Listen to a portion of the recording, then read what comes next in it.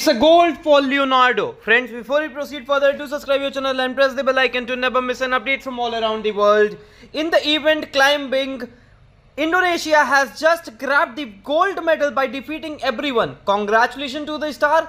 He has done it for his country. He has grabbed the gold medal by defeating Wu Peng, who was supposed and wished to be the gold medalist. He has shocked the world. Congratulations to the star. That's all for the update today. Do subscribe your channel and press the bell icon to never miss an update.